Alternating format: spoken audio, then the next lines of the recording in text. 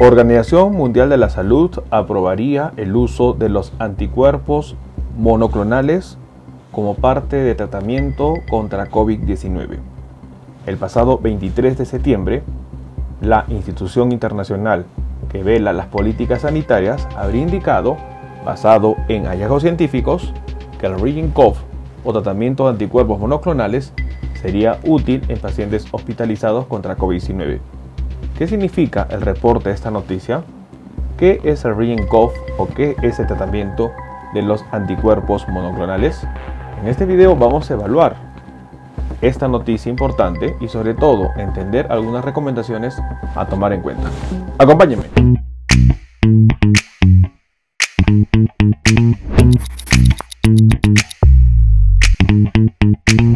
Hola con todos, quien nos saluda es el doctor Luis Antonio Pacora Camargo el día de hoy vamos a hablar de una noticia importante que ocurrió el pasado 23 de septiembre, en donde la Organización Mundial de la Salud, OMS, habría aprobado el uso de tratamiento en base a anticuerpos monoclonales contra COVID-19.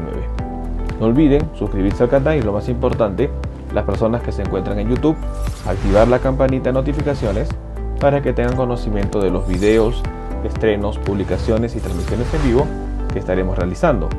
Asimismo, los invitamos a que nos acompañen en las distintas redes sociales. Bueno, hoy día es muy importante tomar en cuenta de que para el manejo de COVID-19 existen varios mecanismos que hay que tomar en consideración. La enfermedad es un proceso que tiene una fase preinfecciosa, una fase infecciosa, una fase de enfermedad y una fase de recuperación cualquier proceso nosológico o proceso de enfermedad, hay que conocer que existen tres mecanismos de prevención que deben ser tomados en cuenta. Existe la prevención primaria, que es evitar que el agente infeccioso ingrese al organismo. Existe la prevención secundaria, que es ya la presencia del organismo o agente infeccioso, pero sobre todo que lo que se evita es evitar el daño. Y finalmente existe la prevención terciaria, que prácticamente es el tratamiento y la recuperación del paciente que ya está con una enfermedad secundaria al agente infeccioso. Los mecanismos para tratar COVID-19 también están enfocados en ese sentido. En la prevención primaria, que es evitar que el agente infeccioso ingrese, acá sobre todo las medidas de protección personal, el aislamiento cuando uno tenga un familiar con COVID-19 para que no infecte a otras personas, el uso de mascarilla, y sobre todo la vacunación entraría en este punto. Existe la prevención secundaria que significa el diagnóstico precoz y finalmente la prevención terciaria o prácticamente tratamiento para evitar que COVID-19 cause la muerte de un paciente. Es por ello que dentro de la prevención primaria las medidas de protección personal deben seguir tomándose en cuenta. Es muy importante que en un estudio de investigación se indicó también que debemos purificar el aire en donde el uso de filtros especializados y sobre todo luz ultravioleta ayudarían a controlar la presencia del SARS-CoV-2 en el ambiente. Y la vacunación es otro de los puntos y pilares que debe ser considerada. Sin embargo, hoy en día vemos algunos problemas que están en relación a la vacunación. Por ejemplo, la falta de equidad con respecto a la distribución de las mismas, las vacunas disminuyen la eficacia en el tiempo y la presencia de las variantes harían que muchas vacunas no tengan la utilidad registrada. Temas muy importantes a considerar. Sin embargo, vemos nosotros que también se está elaborando fortalecer la prevención terciaria, es decir, tratamiento para evitar complicaciones. Y uno de ellos sería el uso de anticuerpos monoclonales. La OMS, el pasado 23 de septiembre, habría indicado de que el uso de anticuerpos monoclonales en el tratamiento de COVID-19 habría mostrado eficacia y es por ello que ha decidido avalar y recomendar su uso. Esta noticia se ha dado este pasado 23 de septiembre y se indicaría que la tratamiento de COVID-19 en base a los anticuerpos monoclonales serían una alternativa importante contra el coronavirus y que se sumaría a apoyar a la vacuna. A través de los anticuerpos monoclonales se ha demostrado de que tendría una acción importante en controlar y evitar el cuadro severo de la enfermedad, sobre todo en pacientes hospitalizados. Un panel de la Organización Mundial de la Salud, OMS, recomendó el 23 de septiembre el uso de cóctel de anticuerpos de Regeneron o el conocido Cop para pacientes de alto riesgo hospitalizados y aquellos gravemente enfermos sin anticuerpos naturales.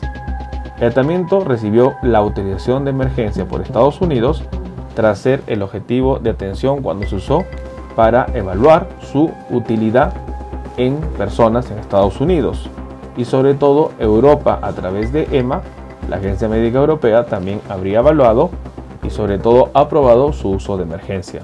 Las recomendaciones con respecto a ello sería la utilización en pacientes hospitalizados. ¿Y qué son los anticuerpos monoclonales? Una pregunta muy importante que debemos nosotros definir. Cuando nosotros hablamos de anticuerpos monoclonales, hablamos de, en primer lugar, anticuerpos producidos en laboratorio. Cuando nuestro cuerpo detecta la presencia de un antígeno, que es una parte reconocida de un agente infeccioso que despierta una respuesta inmunitaria, en este caso hablamos del SARS-CoV-2 por ejemplo, el sistema inmunitario produce anticuerpos, que son proteínas destinadas a neutralizar al antígeno mencionado con el objetivo de evitar que penetre las células y de otra manera también secuestre su mecanismo y no se reproduzca o no se replique. Los anticuerpos monoclonales son copias sintéticas creadas en laboratorio a partir de un clon de anticuerpo específico, hallado en la sangre de una persona que se ha recuperado de COVID-19. Es muy importante entonces que la OMS estaría avalando el tratamiento para COVID-19 en base a la metodología de los anticuerpos monoclonales, es decir, anticuerpos producidos en laboratorio. ¿Y qué anticuerpos o cuál es la combinación que se está dando hoy en día y que la OMS estaría probando? El uso combinado de los fármacos sería el casirivimab y el indevimab, los cuales se utilizan de manera conjunta y sobre todo para tratar los casos de COVID-19 hospitalizados. Es muy importante entender que estos dos fármacos estarían teniendo una acción para contener y evitar el avance de cuadro severo de COVID-19. Se trataría del primer tratamiento recomendado por la OMS en casos no graves de COVID-19, ya que hasta ahora tenía solo en su lista a los corticosteroides como la dexametasona y los antagonistas de la interleuquina 6 como el tocilizumab. Es decir, hasta el momento, como terapias de tratamiento para COVID-19, la OMS habría aprobado el uso de corticoides, dexametasona y el uso de los inmunomoduladores de la interleuquina 6 como el tocilizumab. A ello hoy día se le agregaría los anticuerpos monoclonales, sobre todo el Rigencop o de la empresa Regeneron, que incluye dos anticuerpos monoclonales, el Casirivimab y el Indevimab. Tres tratamientos que ya serían aprobados por la OMS.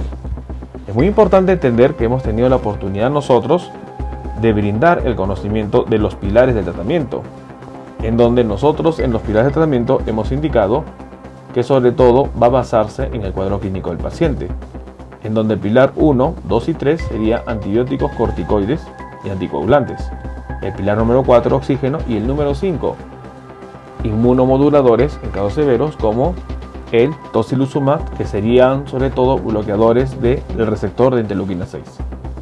A ello hoy en día se le sumaría los anticuerpos monoclonales, es decir, anticuerpos producidos en laboratorio que tendrían la finalidad de evitar la replicación del SARS-CoV-2 y de esta manera garantizar un mejor pronóstico al paciente. Esta noticia es importante tomar en cuenta. Se sumarían los anticuerpos monoclonales para, sobre todo, evitar que se complique la salud de un paciente. Nosotros debemos estar atentos a la evolución y sobre todo el seguimiento que se va a dar a ese tratamiento para tomar decisiones correctas. Es muy importante que las pautas que utilizó la OMS fueron publicadas en la revista médica The British Medical Journal y los datos se basaron en un gran estudio británico y otros tres ensayos que han sido realizados por pares. Recordemos que en junio el ensayo Recovery de Gran Bretaña encontró que la terapia redujo las muertes en pacientes hospitalizados cuyos propios sistemas inmunológicos no habrían producido una respuesta adecuada. El tratamiento de la combinación del casirivimab y el indevimab se basa en una clase de medicamentos anticuerpos monoclonales que imitan los anticuerpos naturales para evitar que la enfermedad siga avanzando. Esta noticia es muy importante, debemos tomar en cuenta esta información. Bueno, el día de hoy hemos querido compartir una noticia importante que se dio el 23 de septiembre. La OMS aprobaría un tercer fármaco en el tratamiento de COVID-19. Como recordaremos, las enfermedades tienen fases importantes en donde el manejo terapéutico se basa en las mismas. Tenemos una fase preclínica donde todavía no hay una infección y se conoce como prevención primaria. Una fase donde el paciente está sintomático pero ya tiene la infección y finalmente donde el paciente sufre la enfermedad. Es por ello que se conoce dentro de la historia natural de la enfermedad tres niveles de prevención, primaria, secundaria y terciaria. La primaria, evitar que se dé la infección. La secundaria, evitar que se dé la enfermedad. Y la terciaria, recuperar al paciente. Hoy en día, el tratamiento del Rigenkopf o lo que es el tratamiento del Regeneron, que se basa en la combinación del Casirivimab y el Indevimab, habría mostrado efectos positivos en pacientes hospitalizados con cuadros no severos. El uso de anticuerpos monoclonales sería una alternativa a considerar en los pacientes y sobre todo tomar en cuenta de que la OMS habría aprobado la utilización de esta combinación de fármacos para ayudar a los pacientes con COVID-19. Tomemos en cuenta esta información. Bueno, quien los saluda es el doctor Luis Antonio Pacora Camargo. No olviden seguirnos en las diferentes redes sociales y lo más importante, denle un me gusta al video para que de esta manera se comparta. Estamos en las siguientes redes sociales, estamos en Facebook, en la fanpage Dr. Luis Pacora Camargo, en YouTube tenemos dos canales y también nos encontramos en Twitter, Instagram y en TikTok bajo la cuenta arroba dr-abajo Luis. Igualmente tenemos nosotros la página web habilitada www.drluispacoracamargo.com. Hemos escrito dos libros, los invitamos a que puedan adquirirlos. El primer libro es Cáncer, el enemigo oculto, un libro que va a ayudar a entender sobre una patología importante responsable de más de 10 millones de personas fallecidas al año. Este libro está disponible tanto en Amazon como iBooks. Y nuestro segundo libro, COVID-19, la pandemia por coronavirus. Un libro que va a ayudar a entender la pandemia que estamos enfrentando y lo más importante, dar consejos para el manejo oportuno de la misma. Hemos habilitado las bioconsultas, usted en la parte inferior encontrará el número más 51 996 831 867 para que de esta manera pueda agendar una cita y poder solicitar la misma y evaluar su caso. Las membresías están habilitadas tanto en Facebook como en YouTube. Encontrará el botón unirse y colaborar y de esta manera usted puede ser miembro teniendo beneficios como en descuentos en bioconsultas, acceso exclusivos a videos o una comunidad más cerrada. Quien lo saluda es el doctor Luis Antonio Pacora Camargo. No olviden seguirnos en los diferentes videos y lo más importante, compartamos la información. Nos veremos en un próximo video. Saludos.